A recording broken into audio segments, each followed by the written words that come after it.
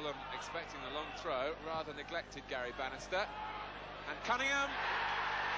It was a costly error from Fulham and a splendid header on his debut from Tony Cunningham.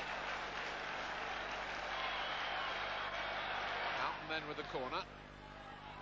Brown coming in at the back post. And Davies! The old firm recaptures its touch.